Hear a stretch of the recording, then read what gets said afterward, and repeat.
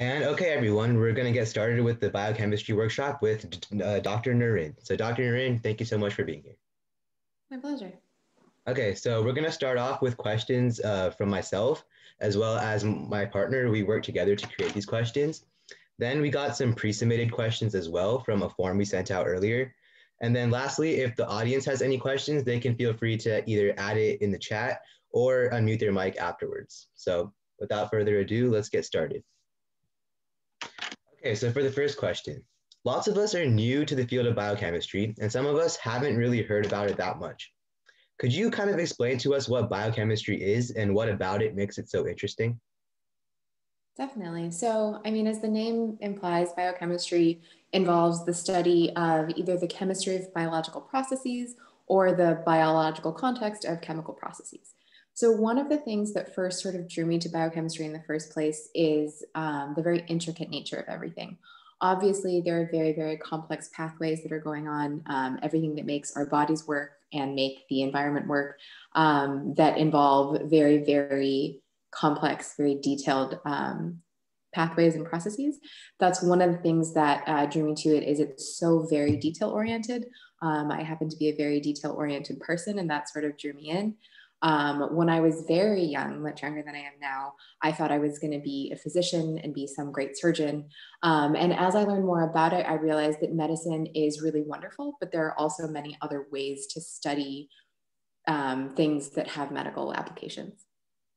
Yeah, so that's actually a really good way to get into the field of biochemistry. I hope a lot of you guys took that down. If you're all detailed people, then biochemistry might be the field for you guys. So another question that we had was, what does your average day of work look like?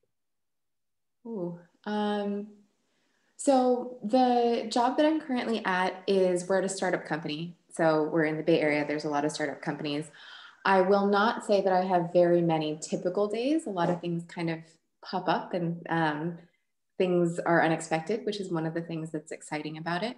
Um, but the majority of my week, let's say, I do spend a lot of the time at my bench. So I'm doing experiments, I'm preparing different solutions, I'm preparing different um, samples, be it DNA or protein or cell cultures, and I'm actually running experiments.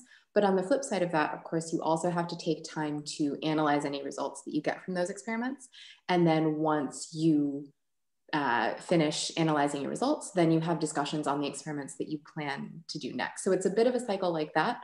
Um, in my particular particular role at a startup, I'm also doing a lot of other things. So I'm training other people. I'm coordinating with other groups to kind of consult on projects that they have going on. Um, we're also working a little bit with our commercial team. Um, so we're working on getting units out to customers as well as sort of doing our own R&D internally. Yeah, so that's really cool. Uh, a lot of our students today actually were just doing experiments a little bit earlier. So could you kind of get into like what kind of experiments you do? Sure. Um, so in my current role, the company I work for is called Genapsys. Um, and we make, the product that we make is a DNA sequencing instrument. Um, so we have a product and we've developed it um, with a team of very, very talented engineers, some chemists, some biologists, some physicists, um, some biochemists like myself. And so a lot of the experiments that I'm doing are to make sure that our system performs very well. So we know that it um, can generate sequencing data for a particular sample. Um, a couple of the types of projects that I've been working on have been how can I make the sequencing reaction happen faster? How can I increase the accuracy? So a lot of this involves um, changes to sample preparation, different ways that you can um, improve that process, different ways that you can change the conditions of the sequencing reaction that's actually happening on our instrument. Um, so that involves a lot of different um, conditions, a lot of different chemical reagents, a lot of um, biological optimization.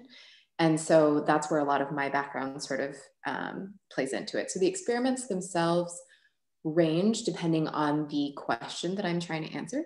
So if the question is how fast can I make the system, um, what what can I do to generate the data more quickly while still maintaining accuracy? Um, one of my recent projects has also been improving the overall workflow. So we have an existing platform that we currently sell to customers, but um, just like any other company, we're constantly trying to make that better. So we're trying to make it a little bit cheaper for the customers. We're trying to make things a little bit faster. We're trying to increase the amount of data that you can generate given a, a single sequencing run. Um, so there are a lot of different questions floating around in the air. So the specific types of experiments that I do kind of center around uh, which types of questions that I'm trying to answer. Yeah, that's awesome. So uh, you said that you, that you have a lot of like different problems that you need to create solutions uh, for. Do you use like any specific tools for each problem, or is there just like a general set of tools which you would use to solve every single problem you get? Um, so I will say at its very foundation, um, one of the biggest tools that I honestly learn or that I honestly use most often is the way that I think about problems. And this is unique to everyone because everyone's background is a little bit different. Everyone thinks about science and problems and the world a little bit differently. Um, so one of the the most advantageous thing I think is the perspective that you carry. So my team is four main people, and then we've got a couple other people we work with fairly closely one thing that I really appreciate about my team in particular is that everyone has a slightly different training, a slightly different background. So, one of my very, very close colleagues is a pure physicist. So, she has a very different perspective on things than I do. Uh, we also have an electrochemist, we also have an electrical engineer. Um, so, when the four of us sit down and talk about the same problem, the the biggest advantage that each of us has is that we see different aspects of the same problem. Um, so the physicist might be more focused on um, some of the dynamics of the reaction that is happening. I might be more focused on the biological efficiency of some of the enzymes or some of the different processes that are happening on our instrument. Um, the electrical engineer might be focused on um, signal detection and our electrochemist might be focused on the best way to actually maximize the, the phase that we're reading um, and so a lot of these are very, very technical, very specific things. But truly to address your questions about tools, I it it has to be our minds. It has to be the way that we think about things. Um, obviously, being well funded and having a lot of technology uh, physically in the lab that helps because it's less stuff that you have to do by hand. Um, but really, at its core, you don't necessarily need fancy equipment. You just have to be able to think broadly about a certain problem. Yeah, that's really cool. So you also mentioned that you work in groups. Uh, are there any characteristics of a group mate which you think are really important, especially in the lab? Um, I would say being adaptable. Um, and I think this really carries outside of the lab as well, because everyone, again, everyone has their own perspective for a certain problem. I'm sure a lot of you guys have done group projects, right? Um, it's not always easy to work with everybody because everybody does have different ideas. So being adaptable, being flexible, um, being open to hearing other people's um, opinions and questions, and having an open mind to think about things in a different way than you maybe would otherwise, I think is very important. Um, I think it definitely also helps to have sort of a, a team player attitude. It makes everything go a little more smoothly if you know that everyone's goal is the same. Um, and truly, I think that no matter what you're doing, being excited about it helps. Nobody is going to be excited about doing something if you don't actually want to do it. So, having the motivation, finding something interesting about the topic, even if maybe it's your not not your most favorite thing, finding at least one thing that's very exciting about it will definitely help make it easier for you to think about it. It'll probably help um, help your attitude towards the situation a little bit as well. All right, awesome. Okay, so I'm going to go back to where you said every single day is kind of different for you. So there's not really a, a like a casual work day. Uh, do you re- recall any like kind of favorite moment or any moment that was like really out of the ordinary in your work? Like any day that something random happened? Um, so one of the very cool things for us, um, as I mentioned, we are a startup company. And so sometime late last year, we did our first commercial launch, which means for the first time, we offered our product to be um, sold for real money to someone out in the world rather than just us doing our own experiments. Um, and in order to get there, it took years and years of development, a lot of optimization. Um, one of the things that I was pretty involved in was we took our instruments and we went to outside labs. So these are people who don't use our product every single day, don't know all the ins and outs and all the jerry rigged things that we do to make things work. Um, and we were able to take a bunch of our systems, install them in other people's labs, teach them how to use them, and then help walk them through processing the results. Um, and as soon as we started doing that, and we realized that other people were starting to get um, similar results to what we saw internally, so they had very high quality sequencing data. Um, their uh, their samples were easily separated. That was a very cool moment because it showed us that okay, we, the people who developed this, know how to use it, but we can also teach it to other people. And then if you think one step beyond that is that, okay, if we can teach this to other people, then other people can use our technology and use it to their advantage. So they can use it to solve the problems that they're looking at um, in all sorts of different types of research. So that was a very cool turning point for us. Okay, yeah, that's really nice too. Uh, I'm gonna take it back a lot, uh, a long time ago. Uh, so, wait, let me get this question. Right. So um, a lot of people know like fields such as doctors or surgeons have a very like structural path from high school to their original profession, whether it's like pre-med, then med, and then going to residency and all of that. For a biochemist, is there like a certain path that you have to take, or is there like a very different way to get there? Um, there are probably a couple paths that are more traditional, but there's, I mean, there's definitely many, many ways that you can wind up in the field of biochemistry. Um, so I, what did I do? After I graduated high school, I, at the time, I actually thought that I wanted to be a physician. I thought I was going to go to med school, um, take all the pre prescribed sort of steps that you um, took, in part because that was something that I knew, right? People know what med school is. You, you go through all the steps. We've all seen the TV shows. Um, and so I went to college. My major was biochemistry and chemistry.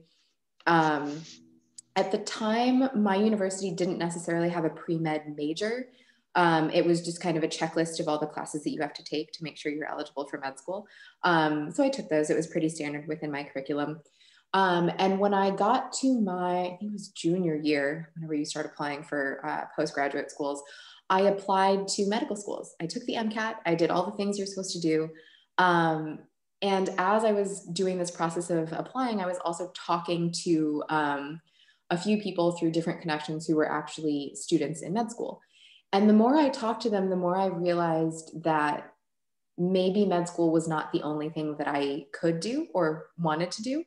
And so what I ended up doing was I took, I didn't, end, obviously, I didn't end up going to medical school. Um, I actually took a year off after I graduated. I worked um, actually at a lab at Kraft Foods, which is not strictly biochemistry, but still actually technically is.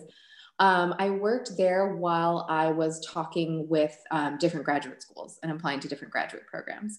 Because what I realized was I wanted to be focused on um, many different types of research rather than purely just going into a clinical setting.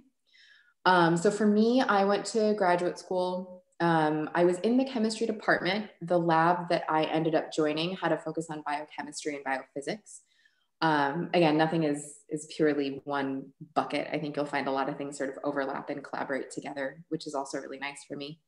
Um, and I went to grad school for my PhD.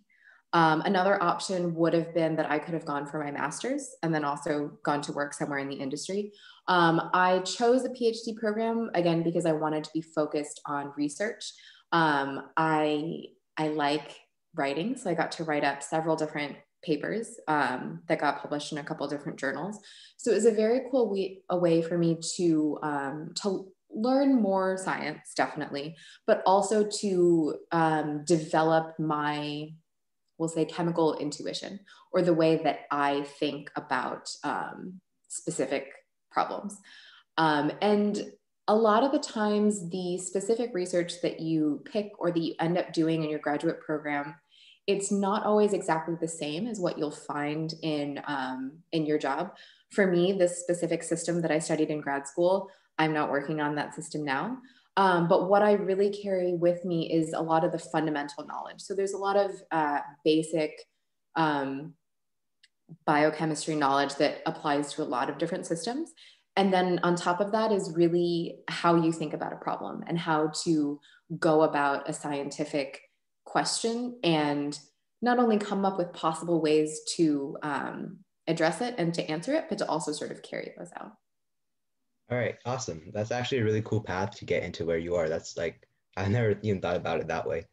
All right, yeah. so uh, after so, so besides the education part, which um, you've like went from after high school to where you are now, are there any habits from college where you like educational habits where you still see uh, yourself doing in your current profession?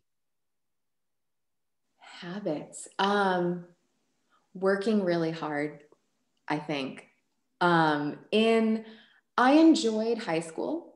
I will not say I was the hardest working person in my high school. I did well in school, I did fine in school, but a lot of my time in high school was spent doing extracurricular activities as well. So I had my classwork, I had like peer activities, I was in the school choir, I was in the dance company. So I did a lot of stuff and I enjoyed high school, but I didn't enjoy high school because of the school part of it as much.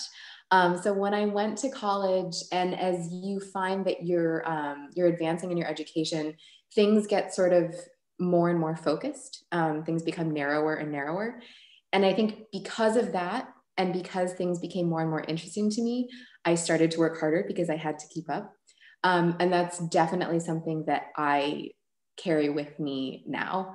Um, some of it is intuition, but a lot of it is definitely you have to be dedicated. You have to be excited enough about it to want to work really hard about it. Okay, awesome. And that brings us into our last personal question, and then we'll get on to pre submitted and the ones from the audience. So, a lot of people attending today uh, are really ambitious. You can kind of tell because it's the start of winter break, but they're all here learning something new. Mm-hmm. Uh, what opportunities could you re- uh, recommend to them so that they can kind of get a feel for what biochemistry is, whether it's a club, an organization, anything? Um, so I would definitely say if you're lucky enough to go to a school that has, I don't know, science clubs, STEM clubs, um, even just single events similar to this, um, step one would be to take advantage of those, which you are obviously all already doing. Um, if opportunities like that aren't necessarily available to you, um, I would say start with your networking. I know that a lot of you are very young, so you think networking is just talking to your friends, right? But think about your friends' friends or your family's friends. Maybe your friend's cousin is in grad school for some type of science that interests you. Maybe you could talk to them about that. Um, and it doesn't necessarily have to be something that you already know about. Um, honestly it might not be something that you already know about but getting exposure to different things and and realizing different paths that are out there uh like um like you said a lot of us we know what med school is we know that path a lot of us aren't familiar with anything else um so you could graduate high school and go get a master's. You could graduate high school and go get a PhD. You could work for a while and then decide that you are in the mindset to go back to school. Um, so there are many, many different paths that will wind you up wherever you want to go. You just kind of have to be looking for them and talking to people who are already doing it or who might know someone who's already doing it. Um, that will definitely be an advantage for you. Okay, awesome. So that wraps it up for my personal questions as well as my partners. Now we're going to get into questions from the chat and pre-submitted. So this one person in the chat kind of said, uh, said, what level of degree do you need to get a job as a biochemist? Um, at the very base, I will say a bachelor's degree. So different companies sort of vary.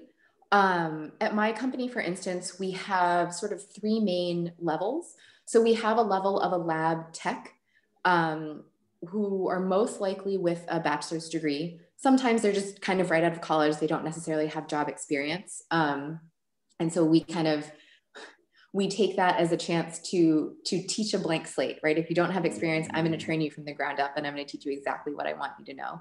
Um, and a lot of the work is a tech. Sometimes it can be a little bit repetitive um, but that by no means um, means it's any less important. You're often supporting most of the main r&d functions of the company so even though you're doing things that aren't necessarily always the most new or the most exciting, um, it's really important, really foundational work. And a lot of the times from there, you can kind of build up. So if you've gain some experience at one company, you might be able to sort of level up and become something like a research associate um, and start working on your own projects. Or what people also do is maybe they take that experience and then they take it to a different company where they find um, a slightly different opportunity.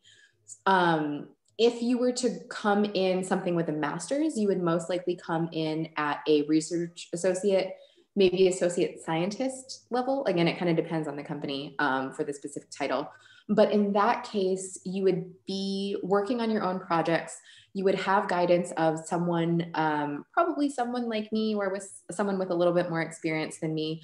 Um, most likely, you would work with your manager or with your group to design the experiments that you're doing. And then eventually, as you gain more experience with that, you would work a little more independently on your own. Um, and then if you're someone coming in at my level uh, with a PhD, I had basically no industry experience. Uh, so again, I was a little bit green, but I came in, I started working on my own projects.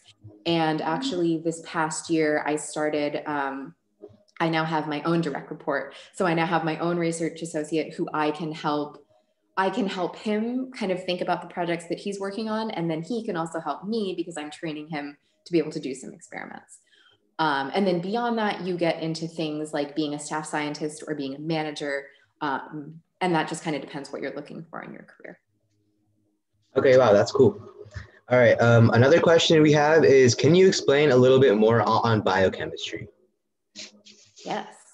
Um, so in general, the field of biochemistry, it's very broad because biology is very broad and chemistry is very broad. Um, I will say that for me specifically, um, an example of a biochemistry project from my um, for my grad school thesis. Um, who here? I don't know. Has anyone heard of CRISPR? Oh, I've actually heard of CRISPR before. Um, so CRISPR is a really great example of um, a pretty prime biochemical system. And if you haven't heard about it, it's um, it's a system that was derived from a bacteria. So several scientists um, found this system that was originally used as bacterial immunity. So any little bacteria inherently has this system that already worked this way, um, and they were able to isolate all these different components. Um, for example, one type of the system is one protein, one RNA, one DNA. And a lot has been done about how all of these molecules interact with each other. And once you understand fundamentally how it works, the fun part begins because you get to start changing little things about it and making it work the way that you want to work and making it work to your advantage. Um, so, truly, biochemistry is the study of biological molecules with a perspective of chemistry. So if you're looking more at the, um, the pure chemical reactions that are taking place in the context of a system that is relevant to biology. Um, so a lot of you are probably taking some general science classes. Maybe you have a little bit of biology, a little bit of chemistry. Um, as you advance in your career, if you choose to pursue, pursue science, what you'll realize is things are just getting more and more and more specific. Um, so you're looking rather than looking at an entire class of animals, maybe you're looking at um, one subspecies. Uh, maybe instead of looking at one subspecies, you're looking at one type of protein or one type of DNA system. Um, and for me, that's what's really cool because you get to get down to a very specific level. Um, that really doesn't appeal to some people, which is totally fine. That probably just means that you should find something else that interests you that much. Um, so, yeah, overall, uh, biochemistry is looking at different types of biological molecules, but you're looking at the reactions that they participate in, um, and you're looking at the possible consequences that they have, and you're looking at the possible ways that those systems can help you, can help your research, can help medicine or therapeutics or diagnostics or any other types of fields like that. Yeah, and someone from the chat kind of had a question like that just bounces right off what you just said. Uh, where would a biochemist work? Medical, industrial, or other, or all the above? Uh, what are some companies that are based on biochemists? Um, so an example that's been in the news a lot, especially this year, is Gilead. Um, so if anybody's heard of Gilead, they are a biopharmaceutical sciences company, and that is a big fat mouthful. But really, what it means is the goal of the company, way back when they started, was to make drugs, right? Um, but they didn't want to just make drugs the same way everyone else is doing it. So the reason that they call themselves a biopharmaceutical sciences company is because they want to focus on the biology. They want to make sure that they're not just trying random things to see if they work. They have a really, really rigorous process to characterize drugs and characterize how they might work. Um, and one of the reasons that they kept sciences in their um, title is because they wanted to make sure that all their research stayed focused on the science and not just whatever application. So it's all very um, foundational. Um, in the Bay Area, there are a ton of biotech companies. So some of you um, have probably heard of Silicon Valley. Um, there's also now in Southern California, apparently there's Silicon Beach. So around Venice Beach, there's a lot of little biotech companies that are popping up as well. Um, there are any, any size of company can either be a company of biochemists or rely on biochemists. Um, like I said, my company, we have a ton of engineers, we have a ton of software people. Um, and part of the reason that this works to our advantage is because in order to do something like create one whole product, you need more than just a team of biochemists. You need biochemists, you need engineers, you need electrical people, you need commercial people because you eventually have to sell this thing to people and try to make money. Um, so there are many, many different companies that would involve a career in biochemistry. Um, biotech is definitely, obviously, a big, um, a big field for that. Uh, therapeutics and pharmaceuticals or diagnostics, um, or even any of the large sort of industrial companies like Thermo Fisher. I don't know if anyone's ever heard of them if you ever do take a lab class and you look around at a lot of the brand names on any of the packages, you'll probably see things like Thermo Fisher or Agilent or Biorad. Um, so all of these supplies that we that we need for our everyday experiments that we don't necessarily think twice about, someone still has to develop those and make those and test them and innovate new ways to make those better. Um, so even if you're not doing the pure research on the therapeutic itself, there are many processes, both upstream and downstream, that um, that require people with this type of expertise as well. Yeah, uh, a cool connection is that one of our speakers tomorrow actually works at Thermo Fisher, so that's something for you guys to look forward to. Perfect. Yeah. So uh, another question in the chat is, how many years do you have to study to become a biochemist? Oh goodness gracious. So it depends on, again, it depends a bit on the path you take. For me, so I went through high school, I went through college. How many years is that? 16 years? a lot of years. And then I went to grad school. I took about five and a half, say six years to finish my program. So that's 22 years of school. So it's a lot of time. Um, so one thing I'll definitely say is if you think that you're interested in going to grad school, either getting a master's, which is usually two or three years, or getting a PhD, which depending on the program, probably about five to six years, um, you want to make sure that it's really something you want to do. Because I'll tell you what, if you're not interested in the things you're studying, it's not going to be any fun. Um, and your time is worth more than that. So you should definitely find something that interests you. Um, but I will also say that I think it is worth every day and month and year of work that I put into it because I really enjoy what I'm doing now. And that was one of my goals. I wanted to have a job that was doing something I thought was cool and that could be helpful. Uh, but more than that, I wanted to.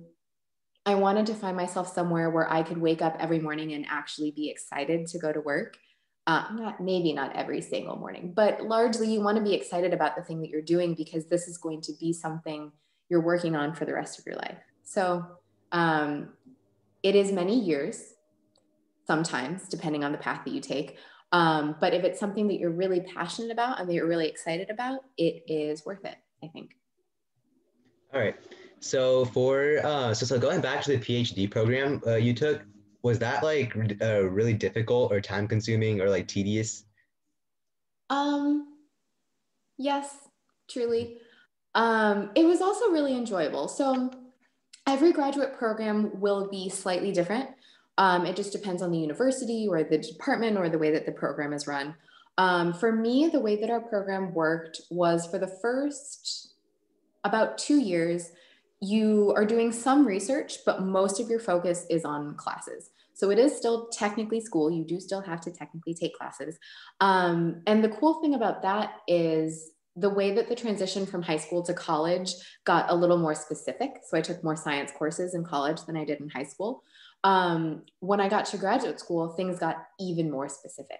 So rather than just taking one class called biochemistry, for example, I got to take a class called biophysics of the cell. So I had a whole class, I had a whole semester just learning about the biophysics of different properties about a single type of cell.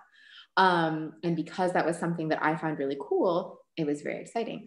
Um, but it's definitely a lot of hard work. Um, and I don't know, there, there are days that maybe I didn't enjoy because I was in the lab until really late at night. Um, but then there are also days when the paper that you write that you submit to a journal gets accepted and that kind of makes up for it. Um, so, you know, I'm not going to say that every day is rainbows and sprinkles and, and all of that. Um, but ultimately, because it's something that you really enjoy, it is worth it. But it is definitely hard work. So don't don't trick yourself into thinking that it's not. At least for me it was. Maybe if you're even smarter than i am it won't be as much hard work so another question from the chat uh, to work in biochemistry, do you have to learn the other parts of science like physics or genetics? Um, to some extent, yes. Um, I will say that you, if you're truly a biochemist, um, most likely the foundation of biochemistry is going to be the strongest, right? You're going to know that pretty much inside and out, um, specifically the system that you're working on or the project that you're working on um, but another thing that you'll find, especially as you, if you go through a graduate program or as you work with other colleagues who are really talented in other backgrounds, you will learn more. Um, so I'm not an expert in physics at all, not even a little bit, but I know more about it than someone who doesn't know anything about science.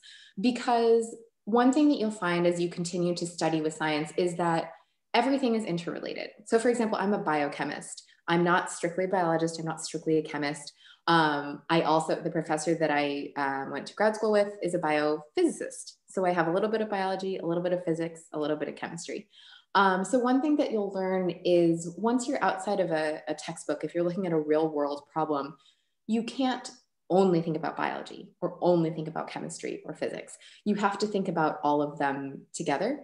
Um, so the further along you get in your education, your focus will narrow. You'll you'll end up focusing on on one thing a little more than others um, but that doesn't mean that you forget about everything else. Okay. Um, another question from the chat is what type of questions do you get asked or ask and how do you solve those? Oh so many questions. Um, for example so one of the systems that we were working on, um, we have one particle of DNA attached to one other particle, which we take that, there's a whole bunch of them in solution, um, in probably less than one milliliter. So we're talking like kind of a big fat drop of water. So it's not a lot of volume. Uh, but if you're looking on the scale of a single molecule of DNA, there could be millions of molecules of DNA in that big drop of water. Um, so one of our platforms is taking that volume of sample, putting it onto a chip, putting it into our instrument and running it. Great, it worked well. It's working well in other people's labs. One of our big, um, big focuses this past year has been uh, removing that other particle. So rather than having DNA attached to a particle attached to um, our chip, we now have DNA directly attached to our chip. Um, so that was, it's obviously a very large question. Um, and it involved all of the engineers and all of the chemists and all of the biochemists and um, everyone's innovation to be able to take our system that was working one way, basically be able to move, remove one fundamental piece of it and still have it work just as well. Um, so that's one of the big picture questions. Another example of sort of an everyday thing that I encounter is how do I make this work better. So, how do I make the accuracy higher, or how do I make the runtime shorter? Everyone's impatient, everyone wants results faster. Um, or how do I make things cost less?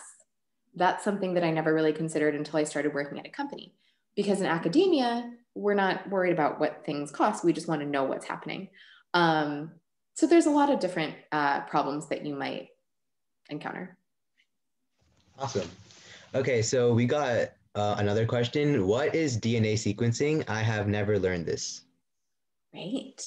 Um, so DNA sequencing, if you've ever, um, if anyone has ever watched CSI or probably even listened to the news recently, uh, we all know that our whole bodies are, um, are made up of DNA. Even animals, even plants, everything has DNA. Um, so DNA sequencing is the process of taking um, a sample. So it could be a little bit of blood, for example. Um, it could be um, some cells from the inside of your mouth on a little cotton ball, a little cheek swab. Um, and so what we do is we take the DNA that's in all of our cells and we take that DNA and what I want to know is what is the sequence of that DNA? So DNA is made up of four different components. We have A, C, G, T. Um, so if you've, I don't know what level of um, science everybody's at, but if you consider all of those different building blocks, basically what we've done is we've built a machine that I can feed in this little sample with a sequence that's very, very, very long. And I can tell you exactly what the sequence is of that whole um, chain of DNA. And so this can be used for a couple different things. Um, one of the more commonly uh, known applications is forensics. Um, so this says, okay, my blood was found at a crime scene somewhere. If I sequence my blood and know the uh, the sequence of the DNA matches what was found at the crime scene, I might be in trouble, right? If it's not, then maybe I'm ruled out and they can move on to something else. Um, so forensics is a field that has been growing a lot in the past several years, um, in part because technology has gotten a lot better. Um, I think also in part because it's become more popular. So people are very interested because they're seeing it on TV and realizing, oh, I can make a career out of this and I can really do this. So that's pretty cool. Um, another big application of DNA sequencing is targeted genes. So, for instance, with breast cancer, there is one gene that many, many scientists have determined is associated with breast cancer. And that particular gene has a particular sequence. So, if, it, if I can take your DNA or a patient's DNA and sequence that entire genome and if I can find this particular gene that's associated with breast cancer, that can help me with diagnostics. It can help me with different therapeutics. Um, so those, those are just two examples of many, many different ways that um, DNA sequencing can be used. The way that it works is a little bit complicated, but I'll sort of, uh, I'll break it down a little simply. So if you have um, a chain of DNA that's very, very, very long, what we do is we, um, we have that DNA sample. You have an enzyme or a little protein, which does a function. Um, and the function is that it builds DNA. So what it does is it reads your, your template strand of DNA. And if you give it enough building blocks or the actual nucleotides, the A, C, T, G that make up the DNA, when you put all of those together, the protein attaches onto the DNA sample and it pulls in the correct corresponding nucleotide and it spits that out through a whole bunch of data processing and it gives you this very nice, neat sequence. Um, so that can be used for many different types of applications. All right, so um, going back to sequencing and all of that, someone in the chat asks, how do you find gene sequences? Um, so that requires a lot of specific work in the field of genetics. And so a lot of it, and I'm not an expert in genetics specifically, um, but broadly speaking, a lot of it is finding um, associations between different proteins, uh, different genes, and different conditions, for example. So um, inside of our bodies, we have RNA, heard of RNA. It gets transcribed or translated into DNA, um, the sequence from RNA and DNA then dictates the sequence of the protein. And so a lot of this is um, going basically back and forth along this chain because a protein way downstream could be associated with some disease. So if you're able to find that protein X causes disease X, you can trace it back and say, okay, well, if I know protein X, can I find the DNA sequence associated with protein X? If I can, then that same DNA sequence is associated with disease X, and then you can try to target it. Um, and this whole thing itself is a huge field. So there are many, many people working on things like um, like gene targeting and gene identification. Okay. Um, one of the last questions we have from the chat is what is runtime? Oh, runtime. Sorry. So this um, runtime is what we consider the time from when you take your sample and put it into the instrument to the time that the um, instrument is finished and then you have your results. Um, so for example, when I first started working at our company, our total runtime, the time from basically start to finish, is oh, I think it was like 48 hours. So it was like two days. Um, so depending on what you're used to, if you're used to it taking a week to get results, two days isn't so bad. But if you're used to getting results overnight, two days is not so good. Um, so one of the things that you want to focus on is, okay, well, what if I can get my results even faster, but I can't compromise the quality of the results, right? I can't compromise the accuracy. I can't compromise the integrity of the sample. I have to make sure that it's still good. Um, so overall, it's just the, the time from start to finish, from sample to result. Okay. Um, and I think this is the last question from the chat is, is there a specific SAT score you must get to get into the field of biochemistry? Oh my goodness. Um, I think that score require so I took the SAT so long ago, I don't even remember what my score was. So that's that for you. Um, I would say that score requirements, grades, things like this, it doesn't let, uh, don't let it determine the career path you take, um, but use that as data and maybe work with your guidance counselors um, to help figure out what programs will be best for you. So if you want to study biochemistry, you should study biochemistry. But if you have an SAT score that is not in the range of Harvard, don't focus on Harvard focus on something that is realistic that will still give you a good education in your um, in the field that you want to study. Um, so did i have the best grades in my whole school? No i'm sure i did not. Did i have the best test scores in my whole school? No i'm sure i did not. Um, i found a program that i liked um, that i also got into. That has to matter right? Um, and you have to use that as a jumping off point. So definitely work hard, focus on your grades, but know that just because you got a B in this class or maybe a C in this class, that's not necessarily going to stop you from pursuing something technical or whatever it is that you want to do. Okay, and uh, building off of that, we got two questions that are kind of similar. So, do you have to go to a prestigious college to get into biochemistry? And what biochem program did you attend, and was it good?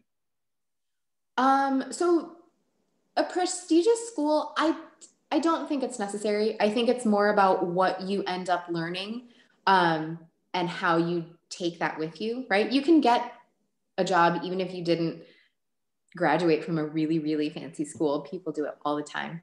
Um, I would say it's more about the quality of the education and what you take from it.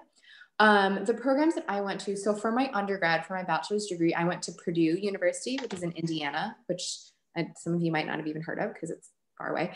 Um, I grew up in Chicago, so for me, Purdue was pretty close. Um, I didn't well, I applied to some schools that were far away from home. My parents didn't want me to go that far away from home, so I stayed kind of close by. Um, I liked the program. One of the reasons that I chose it was because they had a focus on doing research as an undergrad. Um, and so the research that I did was not very groundbreaking. It didn't save anybody's life, but I thought it was really cool. And it gave me a little bit of experience in something that wasn't just taking classes. Um, and so I worked with some of the graduate students um, on a little bit of computer modeling about different amino acids which make up proteins. Um, and so technically, I didn't work on that project anymore after I was done with my um, uh, my degree, but it was a very cool experience for me to be able to work with um, graduate students and kind of understand what graduate school was because otherwise I don't think that I would have as an undergrad. Um, so that was my bachelor's I did at Purdue. For grad school, I went to the University of Southern California in Los Angeles. Um, and one of the reasons I picked that university, I considered several. Um, basically, just like anything else, you apply to a bunch of different schools. Sometimes you go tour the campus or you have interviews with different people in the department. Um, one of the reasons that I liked uh, the USC's department was because everything was very collaborative. So a lot of the research that was being done was being done in conjunction with the biology department or the engineering department or the School of Pharmacy. Um, and again, to me, having all those different perspectives kind of all in the same place, looking at the same problems was very attractive to me. And so that's one of the reasons that I picked it. Um, I was also really excited to move to Los Angeles because Chicago right now is like six degrees. So that was a good move for me as well. All right, so we're approaching the end of our workshop time. So Dr. Narin, if you have any last words you'd like to tell the audience, uh, now would be the right time. Sure. Um, so firstly, thank you guys for giving up some of your weekend to come listen to what I have to say. That's pretty cool to see you guys all excited about that. Um, another thing I will say is just keep doing this. Even if it's not biochemistry or even if it's not science, find something that really interests you and figure out a way to study it, figure out a way to do it. Um, and if you have any more specific questions, I don't know if I'll be able to answer them all, but I'm I'm glad to do it. You can probably uh, maybe funnel them back through the organizers and they can um, send me if there's any other specific questions. I'm, I'm happy to do what I can to, to answer them. Yeah, we can do that for sure. All right, so thank you for everyone for showing up and thank you, uh, Dr. Narin, for uh, taking time out of your day to make it here. So I think that's going to be it for today's, uh, for this workshop. So stay tuned in the next 15 minutes, we'll have our next workshop and we'll see you all then. Okay, bye. Thank, thank you so much. Bye. Bye.